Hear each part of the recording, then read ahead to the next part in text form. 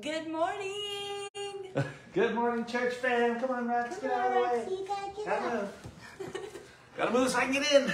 Well, happy Word Wednesday, everyone. We're back. We're back. We're back in AZ.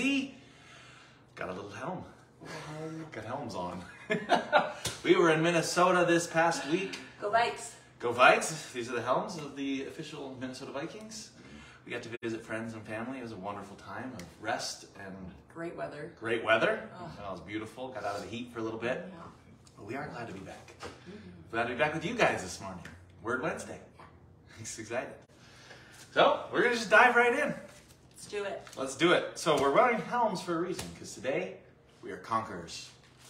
Mighty conquerors. So please turn your Bible to Joshua 1. Got a couple verses actually we're gonna blast today. The first verse is gonna be Joshua 1, verse 9. And this is after the Lord has charged Joshua with taking back the land, the promised land. It says, This is my command. Be strong and courageous. Do not be afraid or discouraged, for the Lord your God is with you wherever you go. That's a pretty strong verse. Now, after that, Joshua led the campaign into Canaan, started taking over some territory, started conquering the land. We jump ahead to Joshua 10, if you want to jump with me now. I got a couple notes here. 1025, and it says, This is Joshua speaking to the Israelites. So God was speaking to Joshua. Now Joshua is now speaking to the Israelites here in 1025. Don't ever be afraid or discouraged, Joshua told his men. Be strong and courageous, for the Lord is going to do all of this to your enemies. Then Joshua killed each of the five kings and impaled them on five sharpened poles. Get a little, got a little morose there, but really what it's saying, he's telling his men, don't be discouraged. We've just killed five of the southern kings. We got a long way to go. Don't be discouraged. Don't be dismayed. Stay strong. Stay courageous. And as we work our way through the through the conquest here, we get to the end of Joshua's life. And then Joshua has one more thing to say. After he's conquered all the land, God has given back the land to the people of Israel. This is what Joshua says to the people. So fear the Lord and serve him wholeheartedly. Put away forever the idols your ancestors worshipped when they lived beyond the Euphrates River and in Egypt. Serve the Lord alone. But if you choose, refuse to serve the Lord, then choose today whom you will serve. Would you prefer the gods your ancestors served beyond the Euphrates? Will it be the gods of the Amorites in whose lands you now live? But as for me and my family, we will serve the Lord. So that is just a three minute breeze through the book of Joshua. And what it is, just a quick recap God is telling Joshua, I'm giving you back this land. You've waited long enough 400 years in Egypt, 40 years wandering in the desert.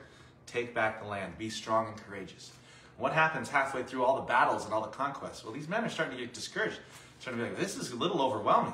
And Joshua, Joshua then, what God said to Joshua, Joshua says his men, be strong and courageous. Don't give up. Keep going. And then at the end of his life, after God has given us the land, God has given the Israelites the land, what does Joshua say? So fear the Lord. Not any giants, not hmm. anyone else. Fear the Lord and serve him wholeheartedly. I think that's a great reminder for us today. Whatever battle we're in, whatever conquest we're in, whatever season of life we're in, it's a reminder to be strong and courageous. Trust the Lord wholeheartedly. Serve him wholeheartedly. And that's what I'd like to do today. Encourage you guys to do today. Put on your helms, your conquest helms. Be strong and courageous today. I know these aren't like uh, officially 3,000 year old helms, They're plastic. But they look intimidating. they look intimidating. Wouldn't want to fight us. No. Awesome. Well, let's pray. Let's pray that you guys stay strengthened and um, have a great day today in Jesus. Lord, we give this day to you. We thank you that you've given us a spirit of conquering, God, a spirit of strength and courageousness, God. Let us use that to honor you and glorify you as we go out into the day today. Let us stay strong and courageous. Let us talk about you. Let us show your light into this world.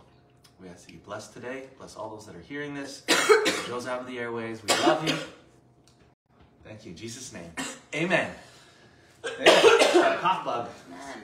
Amen. Awesome. Well, let's see who's on. Ah, Woo! All right, we got a lot in here. Good morning, Kim. Good morning, Deb. Welcome back. Yes, it's great to be back. Hi, Sylvia. Good morning. Good morning. Good morning. Hey, Karen. Good morning. Hey, Terry. Mary, Joe. Missed you guys. Love ya. Good morning, Renee. Good morning, Rose. Good morning, Alfredo. Hey, Ramiro. Margie. Love you guys. Hey, Jan. Hey, Pops. Good to be back. It just is good It to be is back. good to be back. All right, Christine, RJ, yes. Georgia. All right. That's right. Helmet of salvation. That's right. Yeah, we could we could actually make this a cross reference. That's what I, was, I almost said that before we started, but I was like, you know what? But they look more like conquerors. They do. Yeah, yeah. Awesome. I think we got to the bottom. It is so great to be back with you guys. Remember tonight, it's family night. We got kids activities, crew youth, young adults, and our Bible study. So come tonight, uh, 7 p.m. tonight. Tomorrow, as always, chime in with Ranji at 7:30. Yeah. Have a great day, guys. We'll see you next time. Bye, guys. Have a good day.